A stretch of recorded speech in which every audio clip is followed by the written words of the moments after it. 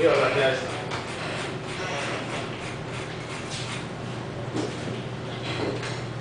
Si el rango de esa variable va de 19 hasta 60, El mínimo.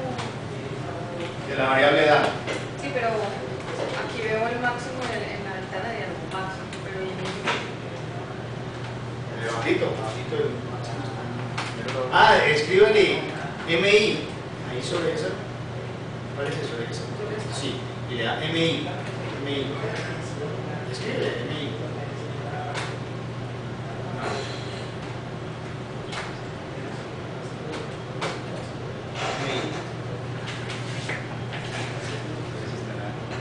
Ah, es que están abusando recientemente.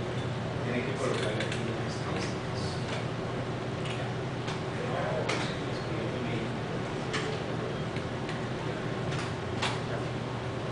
Ah, ya, ya. Entonces el rango de edad sería 60 menos 19. ¿Eso da cuánto? 41. ¿Sí? Entonces si lo dividimos en cinco categorías,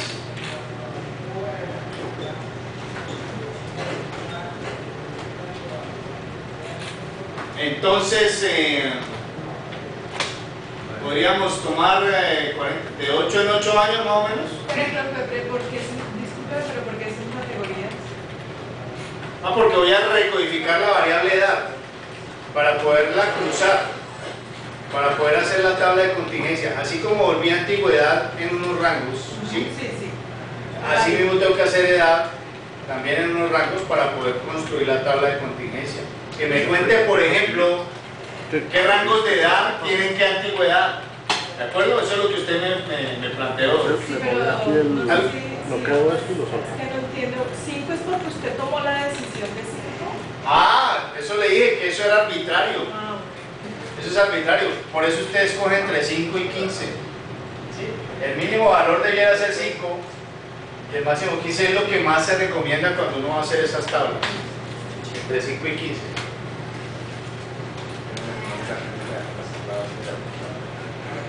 ¿Sí me dice eso?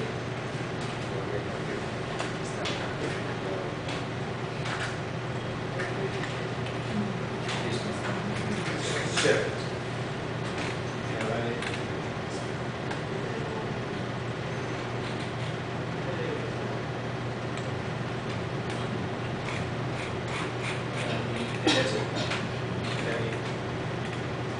Devuelvo. Dele cáncer. Entonces dele allí, bueno, vuelva otra vez a abrir. Dígale que sí. Justo.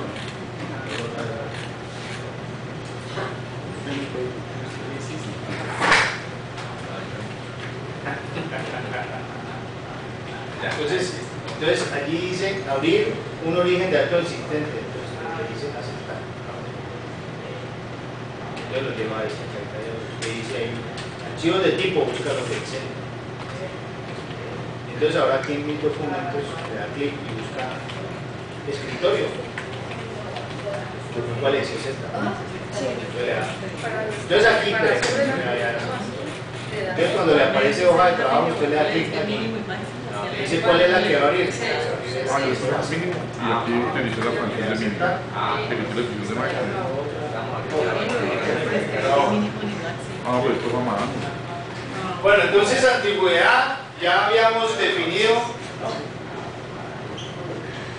que tenía estas categorías. La 1 que iba de 2 a 7, la 2 que iba de 7 a 12, la 3 que iba de 12 Ah, 17. a 17, la 4 que va de 17 a 22 y la 5 que va de 22 a 27 y ahí estaba cubierto todo el rango de esa variable. En edad entonces tenemos que hacer algo similar. Tenemos que definir la categoría 1 que vaya desde 19, ¿sí? Desde 19, a ver, el 41, entonces si lo dimos en 5, eso es aproximadamente 8, ¿cierto? Tomemos 9 para que incluyamos el último y no importa que se nos vaya un poquito, así como se nos fue este, recuerden que el máximo valor era 25, pero sumando en rangos iguales, lo que ocurre allí es que garantizamos pues, la facilidad de la interpretación de la variable. Entonces, de 19 lo, lo podemos tomar de, de 9 en 9, de 19 a 9, 28. Luego la, la edad 2 sería de 28 a 37. La 3 sería de 37 a 46. La 4 de 46 a 55 y la 5 de 55 a 64. entonces ahí está cubierto todo, ¿cierto? ¿Cierto? ¿De acuerdo? ¿Por qué 37, 28, 37? 28, 37. Ah, no, mentira. es- Porque es de 9-9, estamos mirando de 9-9. Sí, ¿alguien se perdió qué es lo que hicimos aquí? Lo mismo que hicimos con antigüedad lo estamos haciendo con edad, ¿cierto? Para, con- para saber cuántos, cuántos caen en esta edad entre los, entre los 500 casos que hay. ¿De acuerdo? Sí. ¿Sí? Bueno.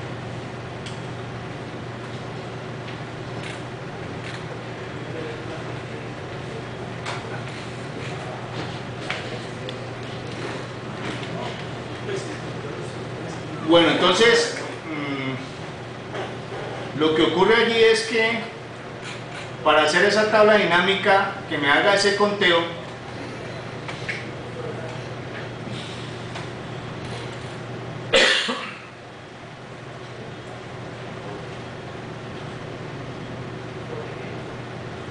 yo tendría que recodificar en Excel eso. Y en Excel sí es un poquito más complicado. Más fácil. Porque él por tabla dinámica no me lo puede hacer, ¿no? Él me saca toda la choricera de todos los, los valores que están ahí. Él no los recodifica. Tendríamos que... Ahí se complica un poquito el Excel. Tendríamos que programar si, si va de tal valor a tal valor, entonces que le coloque uno. Se puede calcular con lógica. después se copia la tabla y se pega en Excel, que es mucho más fácil. Lo que pasa es que los que no tienen eh, SPSS en, en su casa o en sus oficinas, pues sí, graves. Entonces hay que aprender de las dos. Sí. Bueno, aquí habría que hacer un poquito de programación en Excel. Es, mire, usted sacó esto por la tabla, por la tabla de distribución de frecuencias, ¿cierto? Y ya sabe, por ejemplo, que, que en esta categoría hay 116. 116. En esta categoría hay 119 o algo así. A ver, recuerdo. 116, 112, 96. Ah, 112, exactamente.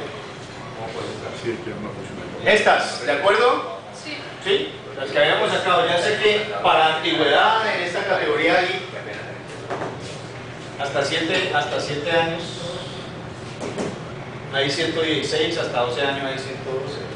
Lo que no me dice es cuáles. ¿Quién me dice cuántos? Pero no, No con me dice cuáles, ¿cierto? Y yo necesito eso para cruzar la tabla en Excel. ¿Sí? Lo que yo tengo que hacer entonces es saber cuáles son esos 116 de esa variable en esa base de datos. Entonces tendría que hacer algo de programación en Excel para que él me recodifique esa variable antigüedad en antigüedad 1. ¿Cómo se hace eso? Pues eh, Excel tiene una herramienta que dice si tal cosa, si X vale tal cosa, si X igual tal cosa, un valor dado, un valor eh, dado. Entonces que le ponga, que le asigne otro valor, algo así. ¿Sí? Esa es la que es un poquito complicada y larga. ¿Sí? ¿Me siguen qué es lo que quiero hacer? Y eso se hace es colocando la fórmula aquí para el primer valor y luego arrastrándola para todos los demás en la base de datos. ¿sí? Esa es una forma. Los que ya manejan macros pues son capaces de hacer un programita macro que les recalcula eso. ¿sí? Eh, pero eso ya es Excel avanzado y de pronto allí nos perderíamos mucho. Sí, pronto el nivel 3. Construcción de macros ya es puro Excel avanzado. Bueno, entonces, lo que yo necesito, por ejemplo, para recodificar antigüedad, que ya sé hasta qué categorías va, es en la base de datos crear antigüedad 1 como una nueva variable. ¿Sí? Y entonces le digo, mire, para este valor 3, eso tiene que ver con fórmula, ¿no? Sí.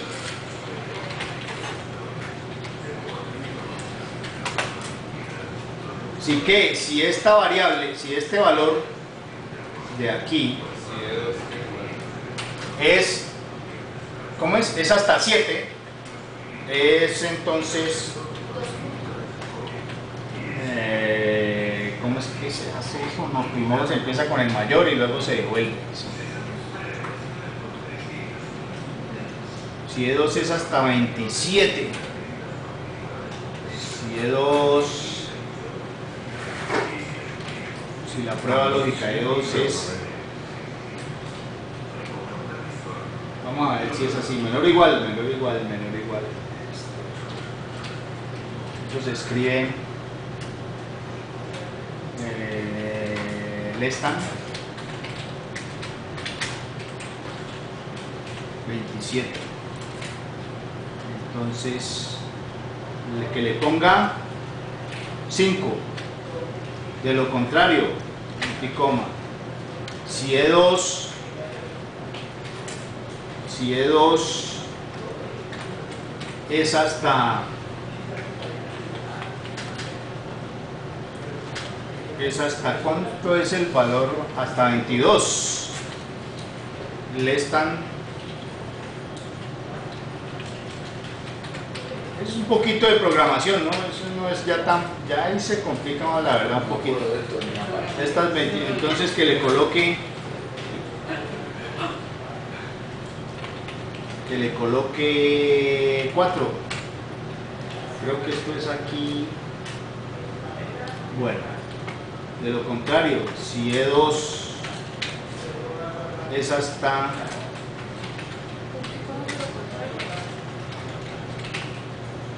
Punticoma. 17 entonces que le coloque 3 y si E2 es hasta 12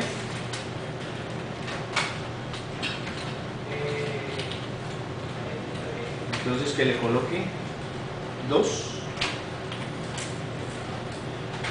y si E2 es hasta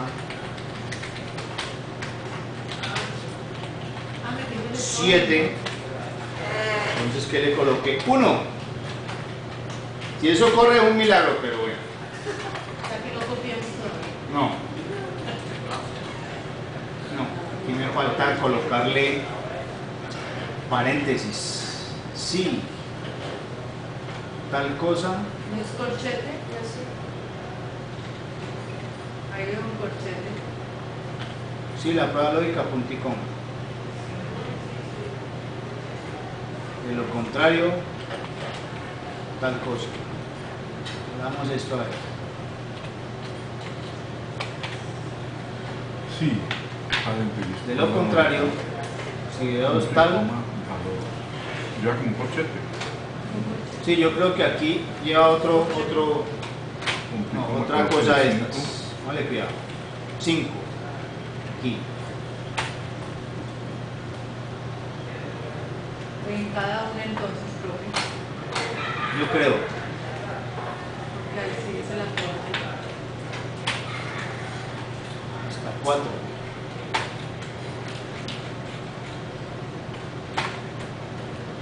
Hasta 3. No es tan fácil, ¿no? y ya no es tan fácil, la verdad. Eh, Porque hasta 2. Y aquí Y cierra con. Y aquí falta cerrar por ahí. Primero en dos.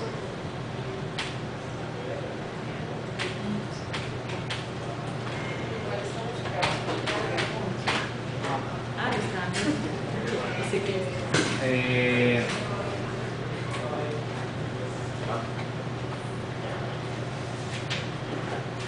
Profe, nos dice la próxima clase. sí, sí, porque si no vamos a perder aquí en la clase. Es por ahí, ¿no? Lo que pasa es que no es tan elemental.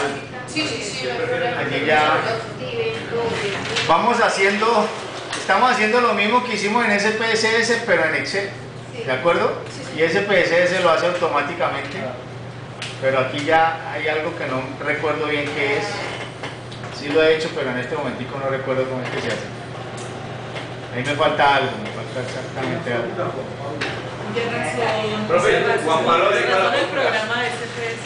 Ah, claro. Claro. Te compré la versión pirata. Profe. Juan Pablo la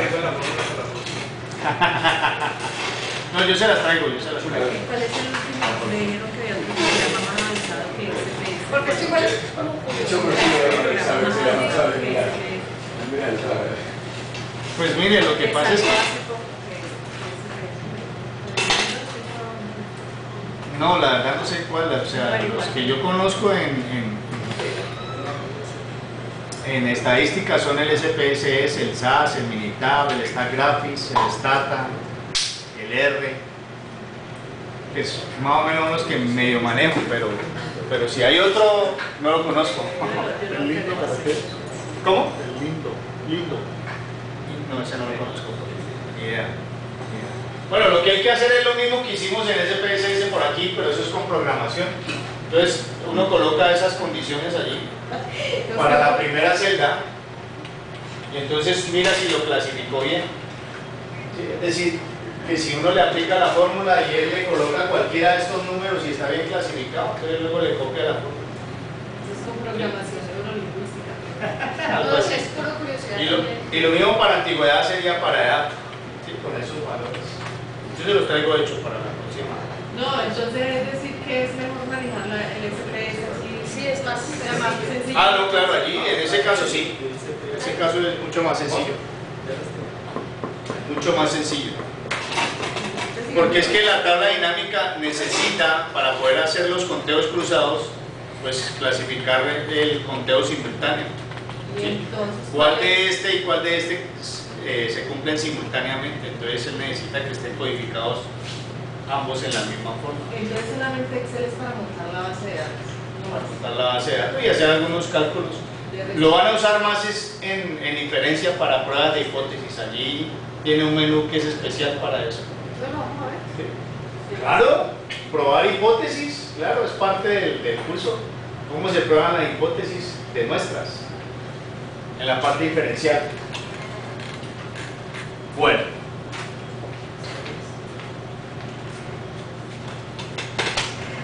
Yo se lo traigo hecho para la próxima clase. Esa- la verdad que me corcharon ahí. Ah, sí, ahí le robo un ratico a la profesora, ella no se enoja. Bueno, estamos hablando de la distribución normal, ¿no? Es de forma campanada, simétrica, donde la media, la mediana y la moda son iguales, que la ubicación se determina por la media, que el ancho se determina por la desviación estándar, que la variable aleatoria tiene un rango teórico de infinito de menos infinito a más infinito, que tiene esa forma de campana. No. No, no, no, lo tengo aquí yo. Ahora lo subimos al Dropbox. ¿Sí? Pero sí lo alcanzamos a hablar. Sí. Sí. Entonces, ¿qué es lo que ocurre con esa, con esa media y esa desviación estándar? Que dependiendo de esos valores, pues a mí me puede dar una campana de causa alargada, un poquito menos alargada, un poquito más achatada, pero todas son distribuciones normales. Que lo que, la forma, esa forma que tiene ahí depende es de qué, cuáles son esos valores, la media y la desviación estándar.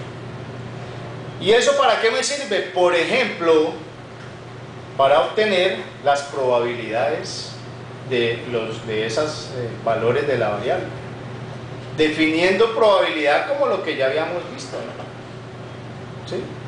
¿Cuál es la probabilidad de que en una variable que tiene ese comportamiento, yo al extraerla aleatoriamente, eh, sepa cuál sería su probabilidad? ¿Para qué me sirven las probabilidades? Para caracterizar la distribución de los datos. porque con la probabilidad yo puedo, digamos, predecir o pronosticar qué valor tendría la variable en determinado momento, en determinado evento, en determinada circunstancia. ¿sí? Pues eso se usa mucho en el campo de la medicina, de la ingeniería. En el campo de las ciencias sociales, la probabilidad, ¿para qué les sirve? Ustedes.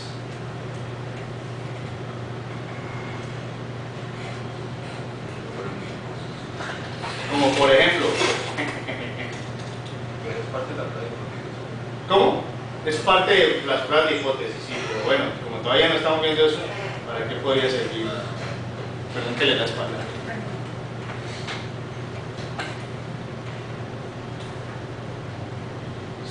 La probabilidad vista como la, la entendimos hasta ahora, ¿para qué me puede servir eso? Para predecir. Para predecir, para pronosticar. Para saber cuál sería la posibilidad de que ocurra un evento determinado en esa variable. Por ejemplo, para unos valores de la variable que no me salieron en la muestra. ¿sí? Yo tengo en la muestra unos, unos valores de esa variable y resulta que entre todos esos valores no me salió un posible valor que yo quería que me hubiese salido por algún interés particular. Entonces puedo saber cuál sería el valor de la variable calculando su probabilidad. ¿Cuál es la probabilidad de que se obtenga este valor dentro de este grupo de datos? ¿Sí? Para eso se utiliza mucho la probabilidad. ¿no? Y decíamos pues que la distribución normal es una distribución muy importante porque muchas de las variables de la naturaleza, incluyendo la naturaleza social, se comportan de esa forma. Mencionábamos también que, por ejemplo, los psicólogos durante mucho tiempo utilizaron ese modelo para, para modelar eh, el IQ.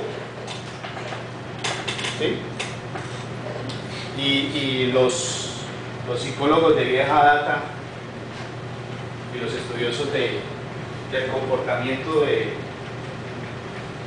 del cerebro y de la inteligencia entonces clasificaban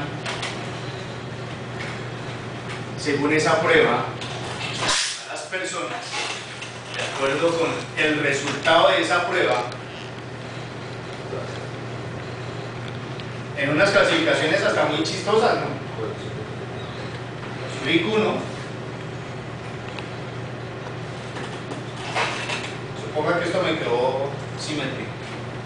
Entonces, si esta era la variable IQ, se aplicaba en la prueba a la persona, entonces si la puntuación del IQ le daba por aquí o más allá, entonces normalmente decían ellos que pues, pues usted es un genio. ¿Sí? Pero si le daba por acá, entonces ellos utilizaban unos nombres, ¿no? Pues, dependiendo de la situación, pero normalmente ellos pensaban entre sí, no, pues es que usted es un no, y ellos tienen unas clasificaciones, ¿no? Pero después se dieron cuenta que esto pues, tenía también relación con otras cosas. o sea, no es suficiente el- el responder esa prueba para que uno quede clasificado aquí. Aquí lo único que están midiendo es su, su nivel de memoria para responder cosas. ¿no? Sí, bueno. Entonces aquí, por ejemplo, algunos de ellos decían no, pues es que usted quedó clasificado dentro de los idiotas, imbéciles, sí señor, estúpidos. Sí, pero si es las primeritas pruebas. Sí, claro, bobos, tontos, moros. Bueno, y los, y los que ya tienen síndrome de Down, ¿no? Los síndrome de Down. Por ejemplo, ellos se dieron cuenta después que, no, pues que esta clasificación no tenía solo que ver con eso, sino con la velocidad con que la persona es capaz de aprender. Y por ejemplo, estas personas tienen un problema físico en el cerebro y que entonces eh, la prueba no está clasificándolos correctamente, ¿no? Pero en general, eso, una tablita de. Por ejemplo, por eso es que es delicado cuando, yo le digo a los muchachos, es delicado cuando la novia le dice al novio, usted es un idiota, un imbécil. Mira lo que le está queriendo decir. Sería mejor que le dijera de las otras palabras gruesas con las que ellos se saludan últimamente. La utilizan de cariño, hasta la utilizan de cariño. Le agrega. Idiota imbécil. Sí, mejor dicho, les queda un poquito nomás ahí para... Bueno, pero en general el modelo lo que sí es, es bueno es para describir las personas que quedan aquí. Porque las personas que quedan aquí son las personas como usted y como yo, que tenemos una, un nivel promedio de aprehensión, ¿sí? de comprensión, de asimilación de conceptos, de ideas, de todo esto. ¿sí? Entonces, entre más cerca esté usted aquí, pues más fácil aprende, o más rápido, no más fácil, sino más rápido. Y entre más cerca está aquí, pues más dificultad le ocasiona. Tiene que hacer mayor esfuerzo. Por eso, la forma de la distribución. Entre más se vaya alejando del promedio, se va haciendo más pequeña. ¿Sí? Porque va, van a haber casos, más pocos casos. ¿Sí? Lo general es que usted esté ubicado. Esa es como el sentido de esa distribución para una variable en particular. Así es para todas si tiene esa forma. ¿De acuerdo? Y usted me diría, pero en las ciencias sociales, ¿cuál variable se puede comportar así? Yo le puedo dar cualquier clase de.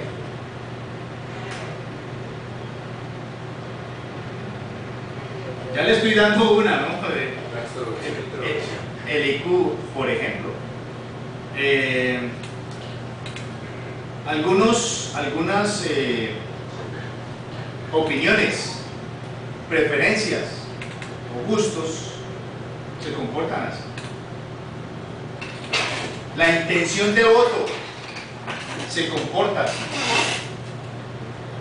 Cualquier var- variable del campo social eh, en donde usted eh, logre establecer que se mide de forma dicotómica, es decir, que usted va a mirar la presencia o la ausencia de esa característica, ella se puede aproximar por esta distribución. Ya que las variables se distribuyen aproximadamente así. ¿Sí?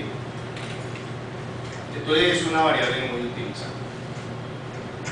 Eh, en cualquier campo en particular, pues en el campo de sus ejercicios profesionales. Por eso es importante estudiar. ¿Están conmigo? Sí. Y entonces usted puede estar interesado en calcular cualquier probabilidad, es decir, cualquier valor de interés para usted.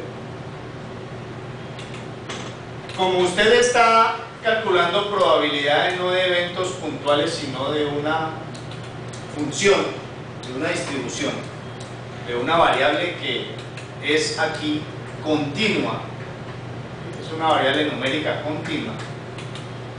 Entonces, la probabilidad allí se halla como el área bajo la curva hasta el valor de interés. Y eso no quiere decir pues que usted tenga que hacer cálculos pues, eh, muy matemáticos para hallar esa área. Vamos a ver que usted con una tablita es capaz de, es capaz de hallar esas áreas. Mejor aún, Excel le dice cuál es el área valor dado. ¿Sí? Y cualquier software de estadística. Bueno, ¿qué es lo que vamos a aprender a hacer hoy?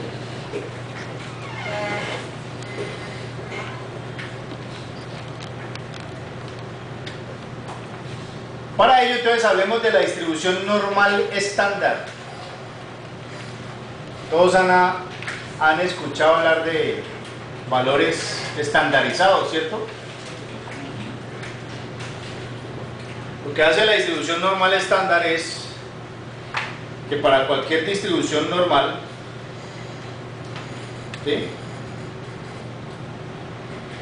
mediante una función de transformación matemática que es bien sencilla, usted logra llevar cualquier distribución estándar a una distribución, perdón, logra llevar cualquier distribución normal a una distribución de la que ya se tienen calculadas todas las áreas. Es decir, de la que ya se tienen calculadas todas las probabilidades. Esa distribución se llama la distribución normal estándar. Y pues normalmente se denota con la letra Z y entonces ustedes en los libros, en muchos libros van a encontrar las famosas puntuaciones Z, que lo que está haciendo es que una variable que se distribuye normal la está convirtiendo en una puntuación Z. ¿Para qué? Para facilitarle el cálculo de la probabilidad de esa variable X, pero en términos de la variable transformada. ¿Sí? ¿Y por qué estaría usted interesado en hacer eso? Porque puede estar interesado en calcular la probabilidad, es decir, el área hasta un valor dado de esta variable, valor x dado. Y usted quiere saber cuál es la probabilidad de que ocurra ese valor hasta ese valor en esa distribución, es decir, en su variable de interés. Lo que tendría que estar haciendo ahí es calcular toda esta área hasta allí. ¿Sí? Y pues si usted fuera matemático se daría cuenta que ahí tendría que hacer una integral. Y que dejarte de calcular integrales. ¿Cierto? No es necesario. Lo que le digo es que no es necesario que usted sea matemático para calcular cualquier probabilidad de la variable de interés. No es necesario que usted sea matemático ni es necesario que eh, calcule esa área mediante una integral. Ya está tabulada esas probabilidades. ¿De acuerdo? Eso es lo que vamos a hacer. ¿En Excel o en? Eh, por ahora en Excel. ¿Cómo se hace? Primero, miremos la transformación. ¿Cómo yo vuelvo un valor de la variable x, lo vuelvo valor en puntuación z? Mediante esa función, mire esa igualdad. Para transformar x a la normal estándar, se resta la media de x y se divide por su desviación estándar, es decir, a ese valor x, si yo ya sé que x se distribuye normal, primero tengo que saber que x se distribuye normal. Eso es importante. No todas las variables de la naturaleza se distribuyen normal. Hay que probar si la variable se distribuye normal o aproximadamente normal. Y eso es lo que sigue en el módulo siguiente. ¿Cómo uno prueba que una variable es normal? Por ahora estamos suponiendo que x es normal. Entonces, la función que me encuentra la puntuación de x en términos de z es esta, donde esta es la media de la variable x y esta es la desviación estándar de la variable x. Es decir, que usted da el valor de la variable x y le resta la media de la variable y por la desviación estándar, lo que está encontrando es la puntuación z. Es para cada. Para cada x que usted necesite encontrarle su probabilidad. ¿Lo hacemos con necesita beca? Por ejemplo, podría ser. Ahorita lo hacemos. Bueno, entonces, lo que ocurre es que necesita beca es una variable dicotómica. Sí, porque está ya la vencida. Entonces Z allí siempre va a tener media cero y desviación estándar 1. Por eso es que es fácil encontrarle sus probabilidades, sus áreas.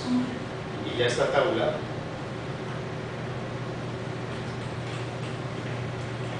¿Cuál es esa tabla? Bueno, entonces vamos a verla.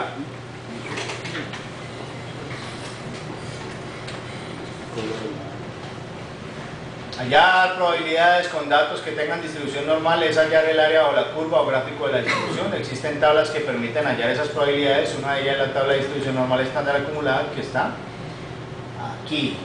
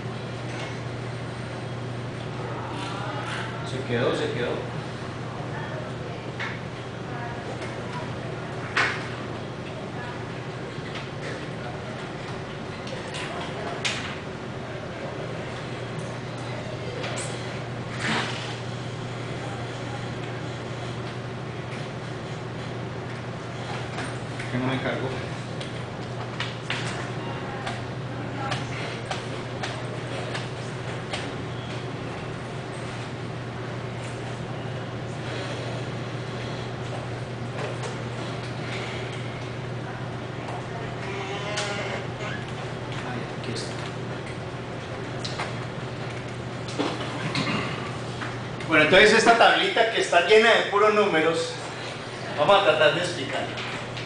Resulta que las puntuaciones Z en esta tabla tienen dos decimales.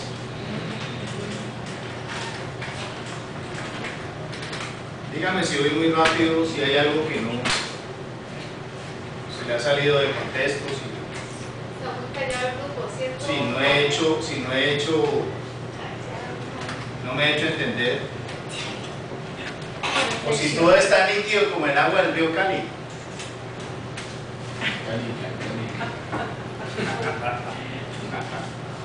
Resulta que los valores de Z en la tabla tienen dos decimales. Entonces, por ejemplo, un valor de Z puede ser 1.07, 2.54, menos 2.17, menos 1.09. ¿Y por qué valores positivos o negativos? Porque como Z tiene media 0 y desviación estándar 1, entonces aquí está el 0. ¿sí? Esta es la desviación estándar. Entonces ustedes saben que a la derecha de 0 pues son valores positivos y a la izquierda valores negativos. O sea que el Z puede tomar valores negativos. ¿Y por qué? Porque si usted tiene z igual a x menos un valor dividido por otro, si este valor es más pequeño que la media, pues eso le da negativo, ¿cierto? Entonces esta tabla tiene valores de z positivos, estos de aquí, en la primera columna con la primera fila. Estos son los valores de Z. Positivos. Y si miramos la siguiente página, ahí están los valores negativos.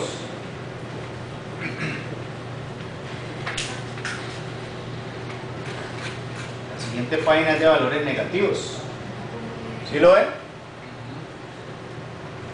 En realidad la tabla es infinita, o sea, no tiene un límite superior. y- Ah, teóricamente, claro, claro, claro. Está- estamos de acuerdo. Lo que pasa es que ahí está tabulado nomás hasta menos 409 y hasta 409. Hasta menos 409, mire que el valor de probabilidad, ah bueno, estos valores que están aquí que tienen hasta 5 decimales, son los valores de la probabilidad, es decir, las áreas hasta un valor de z dado. Sí, es lo que vamos a ver ahorita, no se me asuste todavía. Estas son las probabilidades. Es decir, que la tabla, en la primera fila, perdón, en la primera columna y la primera fila son los valores de z. Y lo que está en el cuerpo de la tabla son las probabilidades de los valores de z. ¿sí? En esta tabla en particular son los valores hasta z. Es decir, son las probabilidades hasta Z. Hay muchas tablas de la norma. Hay tablas que solo me muestran el área de la parte positiva. Hay tablas que solo me muestran el área de cola superior. ¿Qué quiero decir con eso?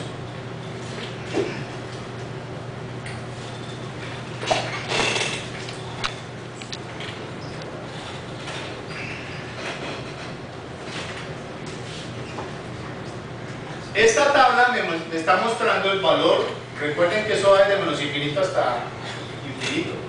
Esta tabla que estamos viendo me está mostrando hasta el valor de z sub 0 aquí, es decir, el área hasta acá. ¿Sí? Para un valor de z sub 0 me muestra el área desde menos infinito hasta z sub 0. Hay tablas que me muestran esta área, miren. Pero cero no estaba en la mitad. Sí, claro, aquí sigue estando 0. La intersección de Z con el eje Sí. ¿Cómo así? Ah, lo que pasa es que aquí ya está transformada la X en Z. Estas son las puntuaciones de Z. ¿sí? Yo primero tengo que volver la variable X a Z, para luego hallarle la probabilidad. Vamos a ver que son valores equivalentes, por eso allí en la ecuación aparece un igual. Es decir, que si usted tiene una X y la quiere transformar en Z, y esto es matemática, mediante una función, usted puede hacerlo. ¿Cuál es la función? Z igual a X menos mu sobre sigma, donde mu es la media y sigma es la desviación estándar. Entonces lo que usted está haciendo es, esta variable la está volviendo otra. Y esta es conocida, porque la media de esto vale 0 y la desviación estándar vale 1. Entonces usted puede hallar todas esas áreas. Cuando halle la área de esta Z, es como si estuviera, hallando el área de esta X. ¿De acuerdo? Porque son equivalentes. Usted lo que hizo fue encontrar un- una, una escala más fácil de medir esta variable en su probabilidad. ¿De acuerdo? Eso es lo que hace la transformación Z. Recuerde que estamos partiendo del supuesto que esta variable X se distribuye normal. En el siguiente módulo usted va a, mirar cómo prueba si una variable es normal. ¿De acuerdo? Ese es uno de los grandes eh, de las grandes eh, eh, complicaciones que tienen muchos de los investigadores de las ciencias sociales que no saben si poder aplicar esta probabilidad. No, es más fácil. Más fácil, lo que pasa es que tiene más fórmulas, pero usted no necesita aprenderse. Que necesita es interpretar qué significa el resultado de aplicar esas fórmulas. No necesita aprendérselas porque Excel las tiene todas. Lo importante es que cuando usted plantea una hipótesis, cómo esa hipótesis se refleja en un número. Ahora, hablando de números, no olvidemos que estamos hablando de números y el número es un ente frío, ¿no? Usted no puede ligar del resultado numérico también la parte eh, circundante que hay pues alrededor de una variable que es de tipo social. Eso lo van a entender más en, cuando miren pruebas de hipótesis. La profesora que les va a editar ese módulo es experta en esa, en esa. Bueno, entonces lo que, lo que ocurre aquí es que como estoy encontrando un, un equivalente para esta variable, y lo, que, y lo que quiero significar con equivalente es que tengo ya una tabla donde puedo medir esa probabilidad. ¿sí?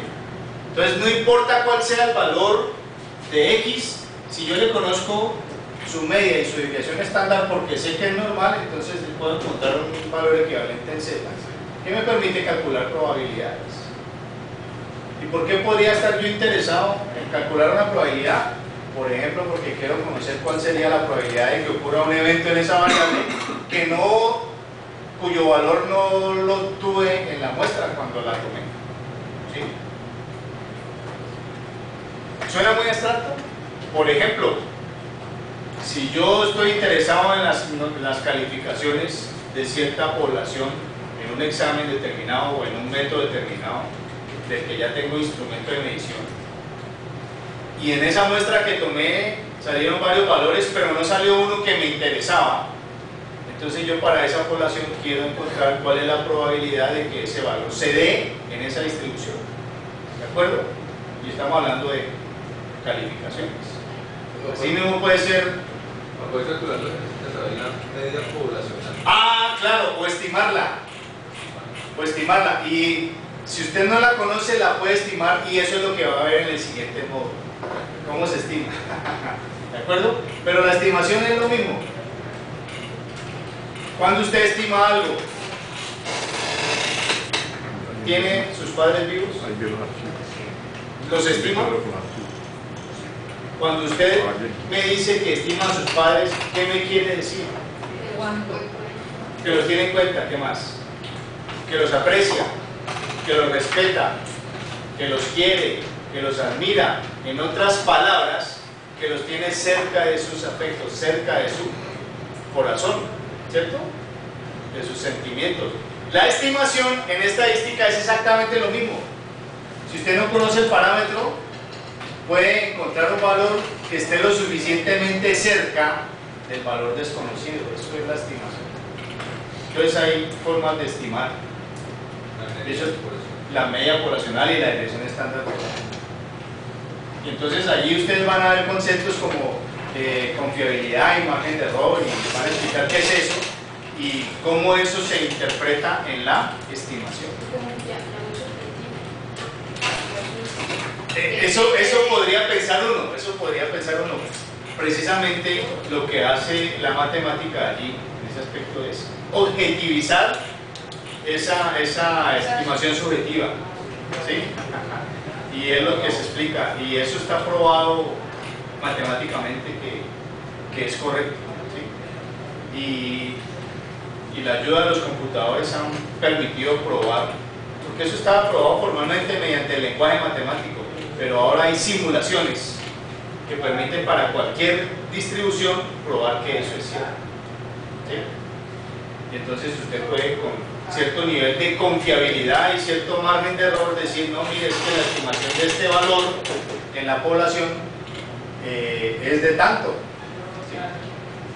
Y lo que ocurre es que usted, allí en la estadística, eh, cuando da por, por delante, por adelantado, cuál es su confiabilidad y su margen de error, usted le está diciendo, mire, yo no puedo hacer censo, pero le puedo decir que el valor de la media poblacional está entre estos dos valores, con una confiabilidad con de error.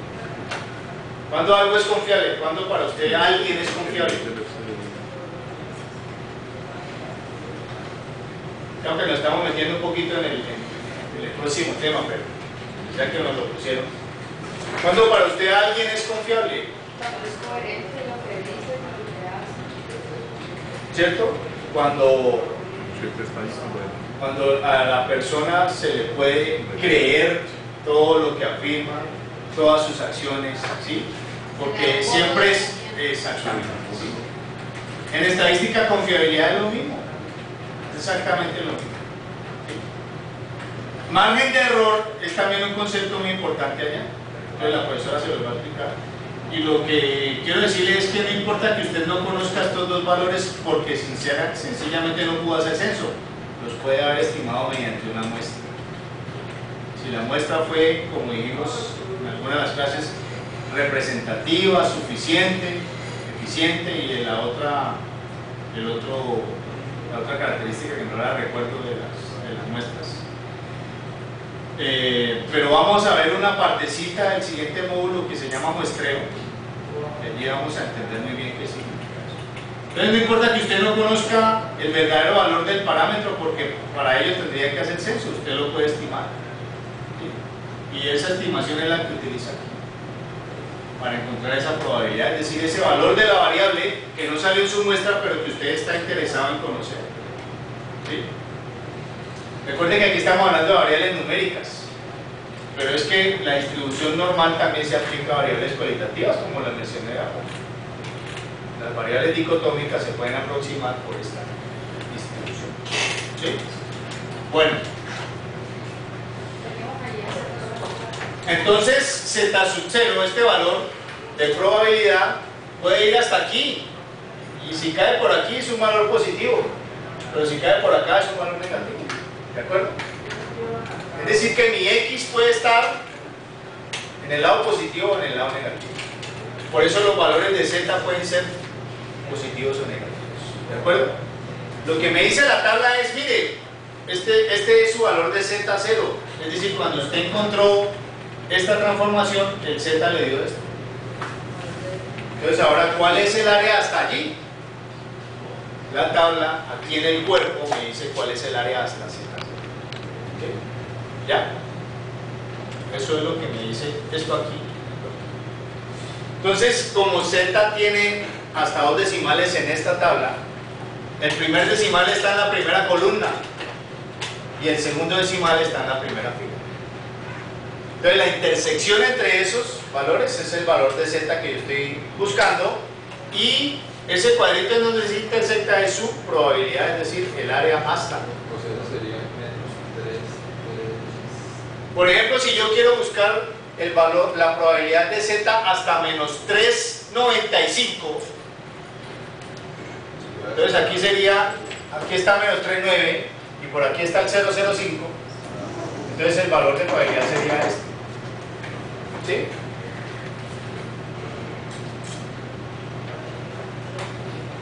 Ese es más o menos el manejo de la tabla. Para que no se me quede, Perdón, una preguntita. sí, Que usted dice, digamos que está localizado el Z, ¿sí? está hacia de acá. La probabilidad aquí significa es que puede alcanzar, hay probabilidad que pueda alcanzar estos valores hasta acá. hasta allí, correcto, hasta allí, exactamente. En esta tabla. Sí, no, Lo no, que y iba a decir es que hay y otras tablas en donde no me muestra esa probabilidad, sino por ejemplo esta. Los, los valores desde Z0 en adelante. ¿Sí? Estas probabilidades. O hay tablas en donde me muestra esta área. Y eso depende pues de la tabla, ¿no? Y de cuál es la facilidad. Por ejemplo, desde 0 hasta Z0, solamente me muestra esta área. Sí, digamos, la pregunta que yo hago es que uno ubica pues en la tabla el valor de Z. Este el valor de Z y tengo este valor aquí en la tabla. Este es el valor allí. Esa es la función, esa es la función que me da el área hasta allí. Exacto. Que- El área de toda la curva hasta allí. Hay esa probabilidad de que todo esto que está la curva de Exacto. Exactamente, sí, es toda área. Esa es la definición de probabilidad en variables continuas, el área o la curva. El área o la curva. ¿Sí?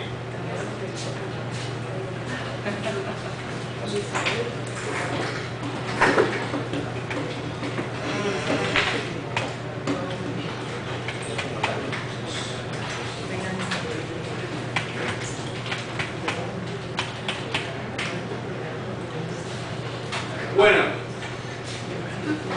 nosotros vamos a ver en particular esta tabla, ¿por qué? Porque es más fácil. Es la tabla más fácil.